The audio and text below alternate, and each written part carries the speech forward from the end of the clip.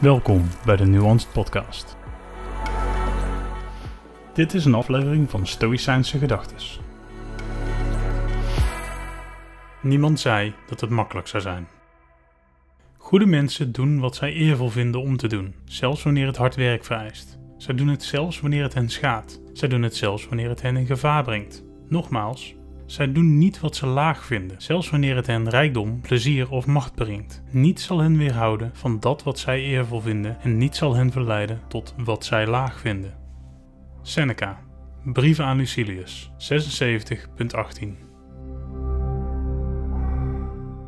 Het juiste doen is lang niet altijd makkelijk, want als het makkelijk was, dan deed iedereen het. Wanneer het slechte niet zo verleidelijk, aantrekkelijk of direct voordelig was, dan zou niemand het doen. In een maatschappij waar de volgende dopamine hit altijd dichtbij is, is het moeilijk om al onze acties volledig te doordenken. Een verkoper verkoopt een product waarvan hij of zij weet dat het niet volledig aan de verwachtingen of doelen van de klant gaat voldoen, maar omdat op dit product toevallig meer commissie zit, verkoopt hij het. Ook weet deze verkoper dat de klacht die het gaat opleveren niet door hem behandeld zal worden.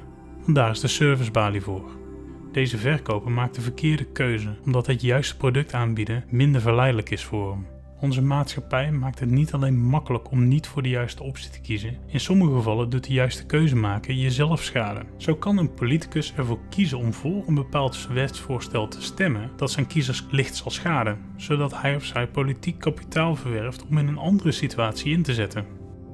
Diezelfde politicus kan er ook voor kiezen om een bepaald wetsvoorstel voor te dragen dat hem in een goed daglicht zet bij een bepaald bedrijf dat interessant voor hem kan zijn wanneer zijn termijn ten einde komt. Het moeilijke is dat we niet kunnen bepalen wat in dit voorbeeld een goede of slechte keuze is. Dat verworven politiek kapitaal kan immers ingezet worden op een ander moment om het volk tegen een groter kwaad te beschermen. Maar hij kan dat verworven politiek kapitaal ook gebruiken om zijn toekomstige werkgever te spekken.